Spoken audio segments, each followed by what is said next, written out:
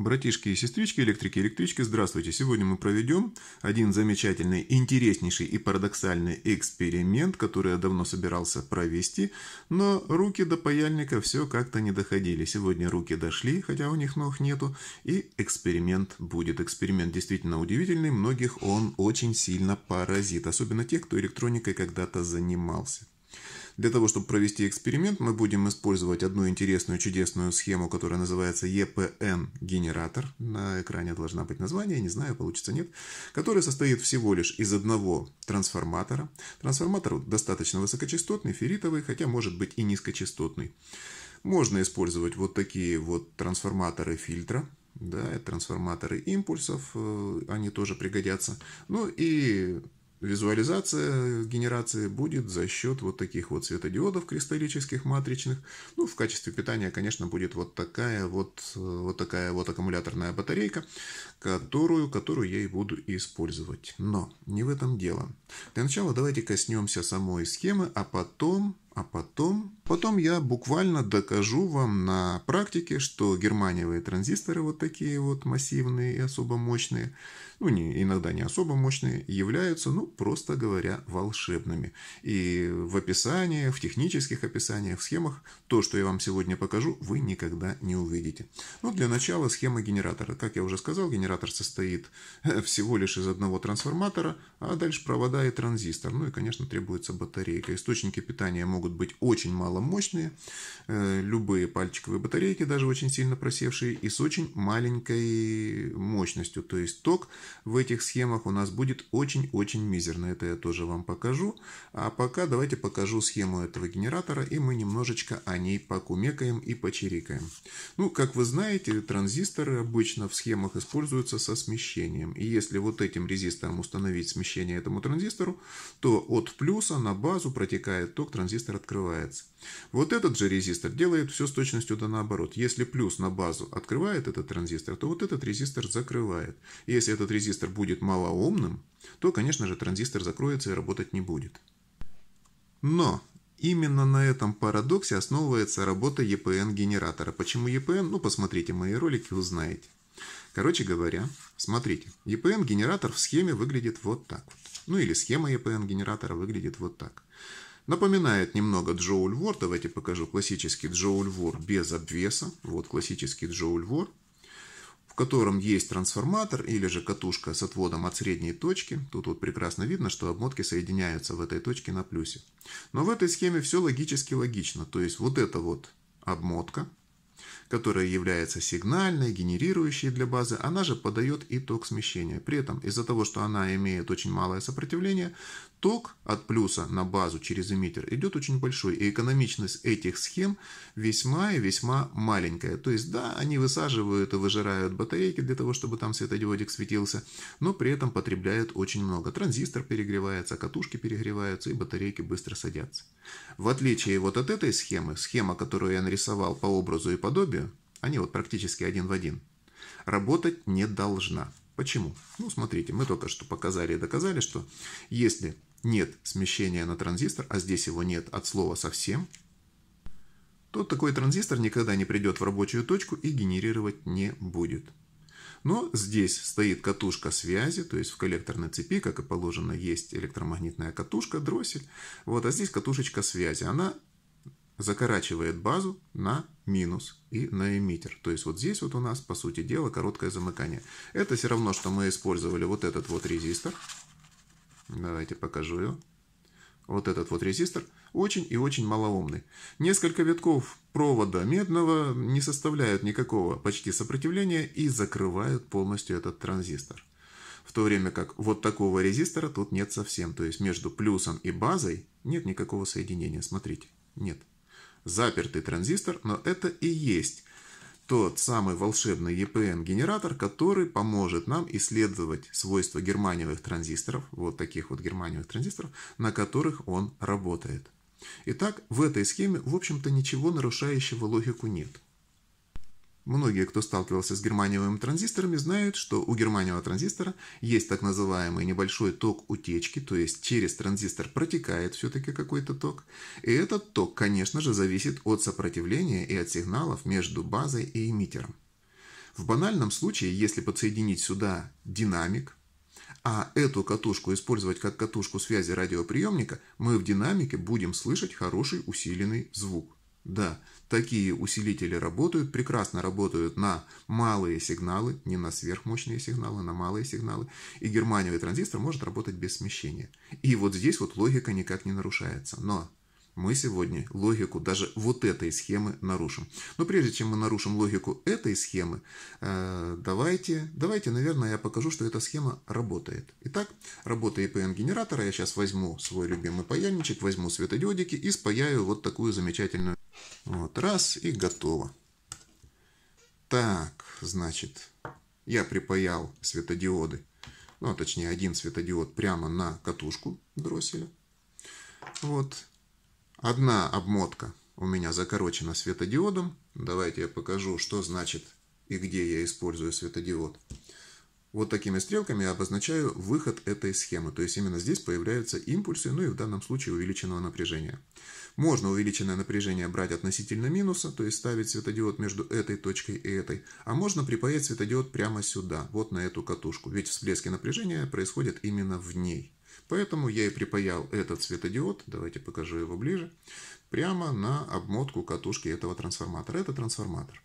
Внутри порядка 80 витков провода, это типовой дроссель из лампы экономки, а вот снаружи я намотал несколько витков, по-моему, штук 8, вот такого толстого изолированного провода медного, к которому и подсоединил вот эти проводочки. Сейчас покажу, что за проводочки. Зеленый, белый, красный. Итак, Белый проводочек – это тот проводочек, который идет на базу, так проще запоминать. B – это база. Зеленый идет на эмиттер. Ну, буква Z напоминает букву E. Это эмиттер, это земля, это минус. Вот. А что за красный проводок? Ну, красный проводок – это то, что идет к батарейке. В зависимости от э, типа транзистора, используемого в этой схеме, здесь будет либо минус, ну, тогда можно было бы и синий провод здесь использовать, либо плюс – Почему? Ну, потому что, вот скажем, у этого транзистора, у него структура PNP, и у него эмиттер изображен как стрелочка, идущая на базу. А здесь изображен транзистор, давайте я его покажу, вот этот вот 213, по-моему. У него структура NPM, то есть у него стрелка идет ровно так, как в этой схеме. И с него мы как раз и начнем. Вот этот красный провод, этот красный провод, он будет идти просто на батареечку. EPN-генератор работает от любого из этих транзисторов, даже вот от этого спиленного. Его я тоже покажу работу обязательно. Так, э, где у нас? Вот они. Эмиттер у этого транзистора это то, что в стеклянном изоляторе. Так, берем эмиттер. База находится посередине, можно посмотреть по справочникам, можно прозвонить. И сюда я собрал схему так, чтобы можно было подсоединять всего лишь три провода. К коллектор красный, Б белый база и зеленый это эмиттер. Вот, вот так вот на одном транзисторе. Ну а дальше мы подключаем батарею. Подключили батарею. Ярко светится синий светодиод. То есть ничего такого удивительного нет. Все. Заработал, заработал этот генератор. Генератор повышает напряжение, то есть можно его использовать как схему Джоуль-Вора, но гораздо более экономичного и практичного. Давайте для любознательных я покажу, что такая схема потребляет крайне малое количество электроэнергии. Возьмем прибор, переключимся на 20 мА. Я думаю, тут видно это хорошо. Вот, и включим работу схемы. Так, прикасаемся к батарейке. Светодиод светится и потребляет 0,59 1 мА. То есть менее 1 мА. При этом яркость свечения достаточная. Конечно, это ну, видно. Видно очень хорошо, то есть не какое-то тусклое свечение, вот в камеру он хорошо светится. При этом потребление 0,57 мА. То есть очень экономичная схема, которая позволяет ну, реально высасывать батарейки, скажем, ваши там супер батарейки просели, и вы собираетесь их выкачать до конца. Так вот, если использовать классический Joule Watt по вот такой схеме, у вас будут, будет ток всей схемы десятки, ну, там 10 минимум миллиампер целых. Хотя, ну, чаще всего у Джоуль Вора этот показатель гораздо выше. А используя вот такую схему, вы снижаете электропотребление на максимум, то есть батареечку вы уже высаживаете экономично. И получается, что таким образом из севшей батарейки вы делаете реально вечный фонарик, потому что с таким токопотреблением работать ваш фонарь или ваша вечная свеча будет, ну, действительно, крайне-крайне долго, крайне-крайне вечно даже на севших батарейках. Давайте продемонстрирую, сколько, ну, то есть как будет светиться от вот этой просевшей батарейки. Ну вот, свечение хорошо видно. От любой батареечки, от любого аккумулятора, вот тут вот напряжение указано 1,2 вольта. Так, вот сюда минус, так, не путаемся, и вот сюда плюс. Яркое свечение синего светодиода. Держать немножко неудобно. Яркое свечение синего светодиода при очень маленьком токопотреблении.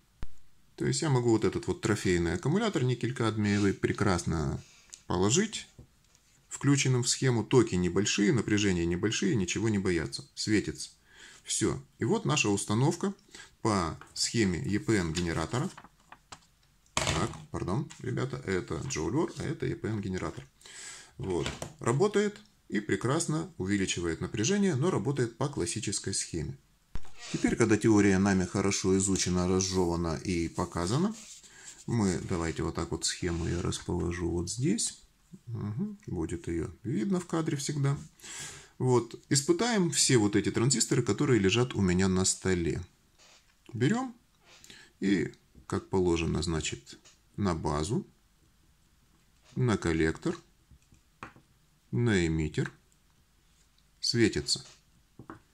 Это у нас был 210 хороший такой мощный транзистор. Еще один. Так, эмиттер. База. Коллектор. Светодиод светится. Ну, как ярко даже, хорошо светится.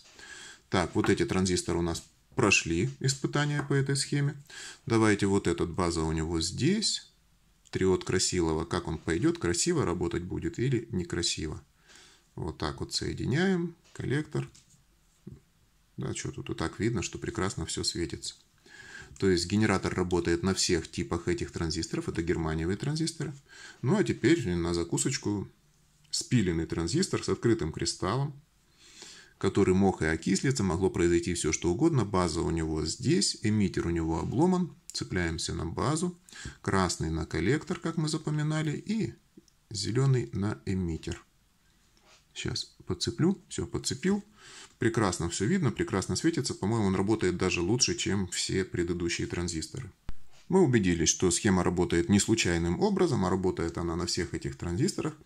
Работает при, по сути дела, отрицательном смещении, то есть типа на закрытых транзисторах. Но это еще не все. А что будет, если мы возьмем и перепутаем коллектор и эмиттер. Честно говоря, я только что -то это самое и сделал, но вы немножко этого, наверное, не увидели. То есть, я возьму транзистор вот такой вот структуры. Так, ну вот так вот будет, наверное, хорошо видно. То есть, вот наша классическая схема. Здесь приделан светодиод, плюс подается на эмиттер, минус здесь. А теперь я возьму вот такую структуру транзистора, где Эмиттер смотрит вот сюда на базу, и ток должен течь от плюса к минусу вот в эту сторону, а плюс подам на коллектор, а минус подам сюда. Как думаете, будет работать такая схема или нет? То есть мы сейчас вот проверяли на разных транзисторах работу вот такой схемы, в ней нет никаких нарушений, никакой, ну, нет нарушений логики, то есть есть плюс, он на эмиттер по стрелочке проходит сюда, все окей. А теперь мы перевернем транзистору питания, и будем использовать коллектор вместо эмиттера. Я специально схему сделал так, чтобы она была на три провода. Вот. И теперь мы, зная, что база у нас находится вот здесь, вот генератор работает, просто возьмем и поменяем выводы питания. Эмиттерный провод зеленый я посажу на коллектор, который находится на корпусе. А то, что было на корпусе, я посажу на эмиттер. Сейчас дайте попасть. Ой, что такое? Светодиод светится. Давайте положим все на место. Так. Вернем эмиттер на эмиттерный провод. То есть, что эмиттер, что коллектор в этой схеме все равно. Транзистор работает. При этом тока потребления не изменилось. Могу прибором показать, но, наверное, все-таки поверите на слово, потому что я разговариваю с серьезными людьми. Итак, ну может быть вот этот вот спиленный транзистор действительно стал обладать какими-то универсальными свойствами, и именно он работает таким образом. Давайте проверим остальные. Начнем со старого триода Красилова. Ну, потому что он наименее изучен, поэтому берем. Сперва суемся вот сюда – работает. Теперь суемся вот сюда. Работает. Но видно, очевидно, что работает немножко хуже генерация. Но все-таки работает, то есть в обратной полярности этот транзистор все равно работает. Берем вот этот транзистор, база у него здесь. Не задумываясь, вот сейчас у меня эмиттер попал на коллектор сходу. О как! Шикарно. Ярко, шикарно. А теперь меняем. Эмиттер ставим на место, где ему положено быть, коллектор на место, где ему положено быть. Вообще шикарно.